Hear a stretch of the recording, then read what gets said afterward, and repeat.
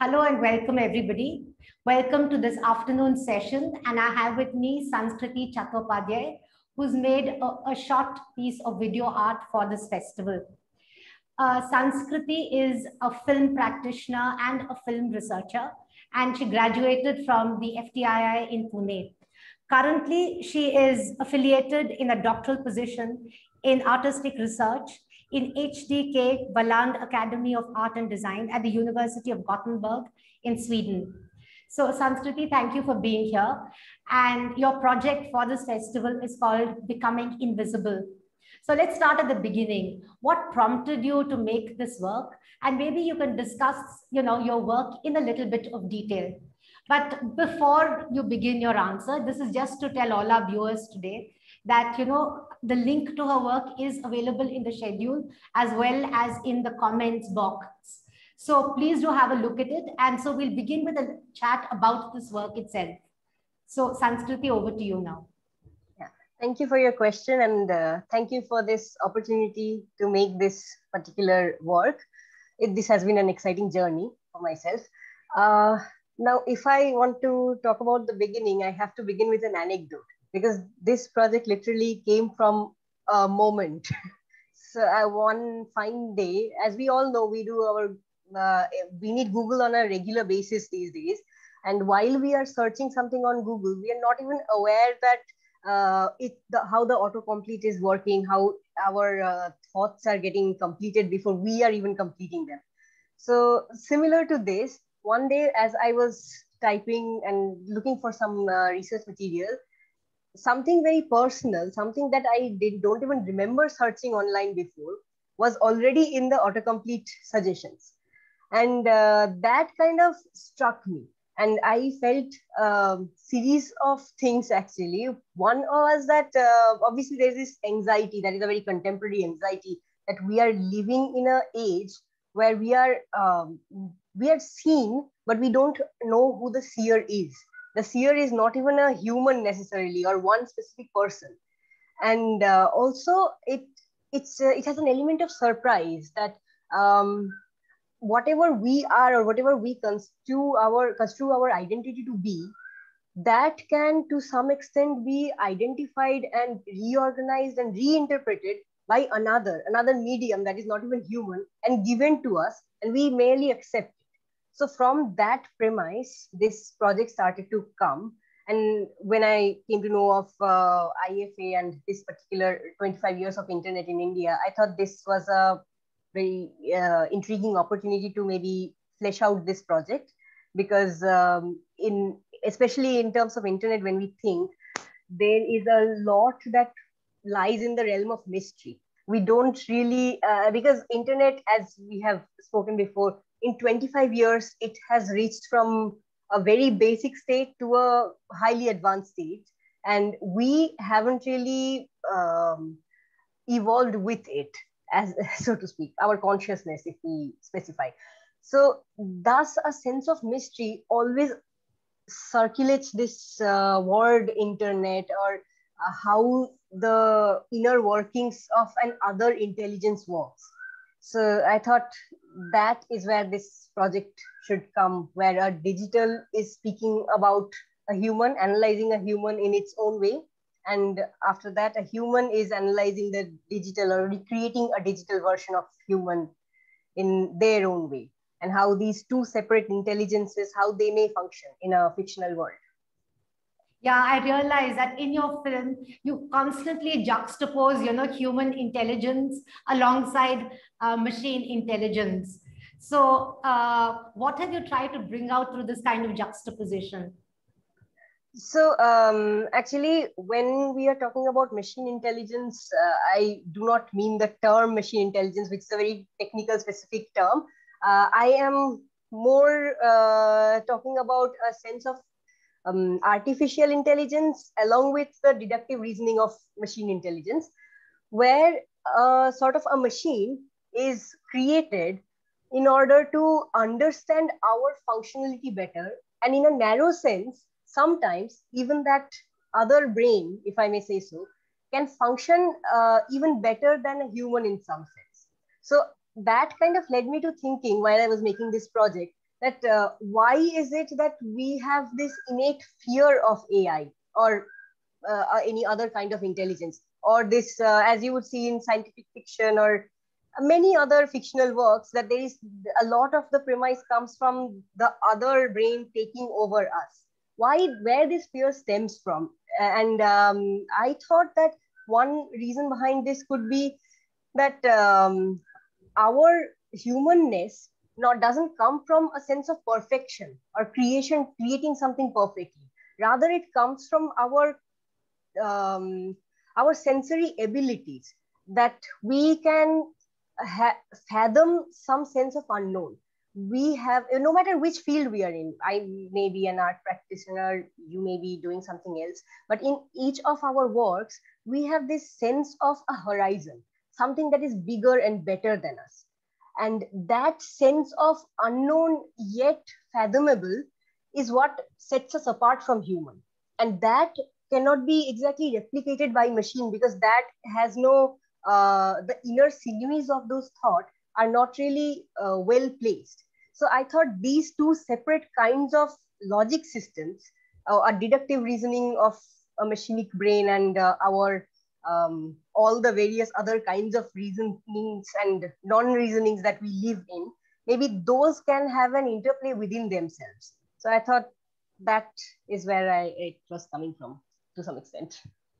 Yeah, I think one thing that does come across in your work is that you do need human intelligence as a kind of intermediary, you know, and to mediate so, and it's uh, this artificial intelligence could not exist without the mediation of the human being.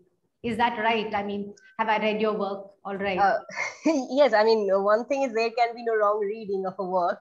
Anything you've read, it must be germinating from there.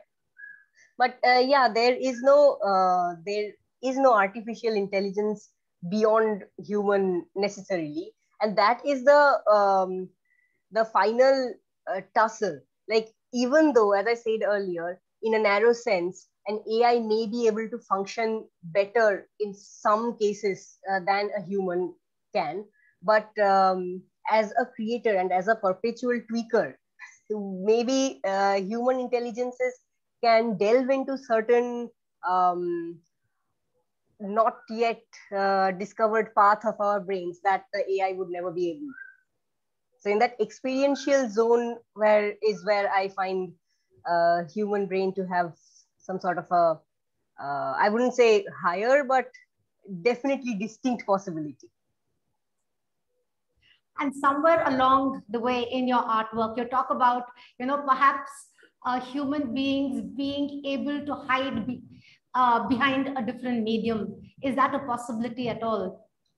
Um, uh, although that's uh, imagination that comes in the work but actually again while i was making this work i was uh, realizing it all the more. Even though we live in this world uh, we don't really realize how much of our footprint we are living on the digital world regularly. And there is no way of avoiding it. Unless we go to an extreme and we cut ourselves off from all sorts of digital existence but which is not really doable for a larger uh, community of human beings. Because we are sociable beings and this is a part of our extended lives. For the first time in uh, history we are literally cohabiting with virtual elements. And uh, that cannot be really we cannot go back. So because there is no actual hiding maybe that is the reason the imagination of hiding becomes so important it's more like a dream, a dream that can never be true, but a dream nonetheless that gives us solace. Okay, so you also have these two characters, you know, there's um, uh, the, the man and the woman who come uh, intermittently, I mean, actually one after the other in your film. So why have you introduced these two characters? Is there any particular reason? Uh, actually, I wanted to uh, just uh, find uh, one representation of the human and one representation of the digital. But um, since the digital here, I am also making the digital do a lot of human plotting. so I thought it would be nice if that comes in a human voice. So the woman's voice and later the woman, they actually represent the digital self. and the human self is presented by the man. Not necessarily they are chosen because they are man or anything like that, but it's so it's sort of a in the moment thing. I just thought that digital being a woman felt more interesting to me. I hope this conversation is not too abstract because we don't really have the film to show yeah. along with our conversation. But people can go to the link and see your film. And I hope yeah. this throws a bit of light on the film itself, you know? Yes. Uh, is this the first film? I mean, oh, another question I wanted to ask you. You, uh, I mean, this is a work of fiction, yes. but you constantly refer to it as video art. Now, is there any reason why you don't call it a film, but as video art?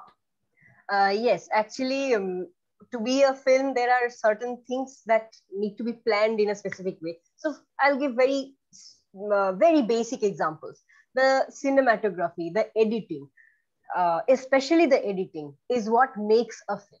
You are telling not necessarily a story, even without a story, you are telling something, uh, a content, a context, but you're telling it in a specific way. And that way of speaking is decided by the film. And the way of speaking is established.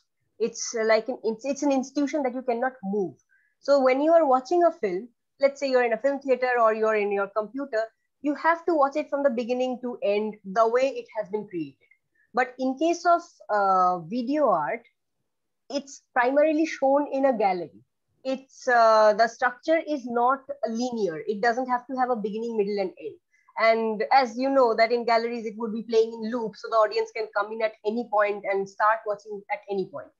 So when we were making this i thought that uh, this is a video definitely. But what if the narrative possibility that i am presenting from the beginning to end.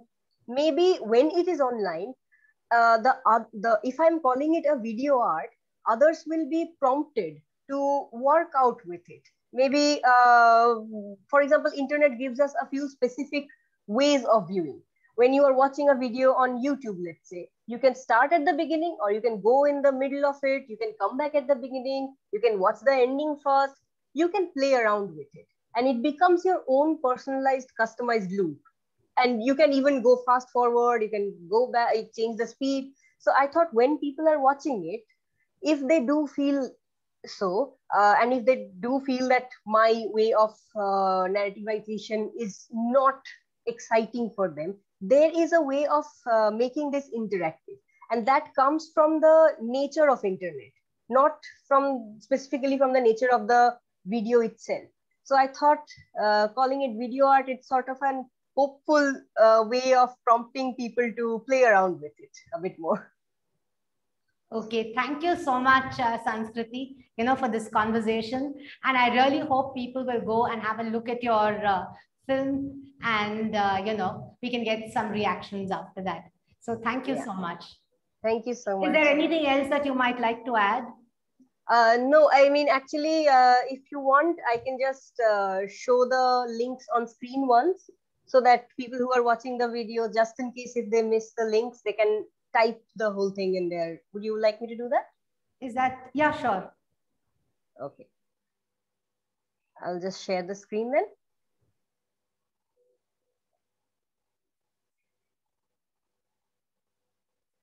So these are the links. They will be available from now and you can, at any particular point, you can play it on your end and play around with it as you feel free.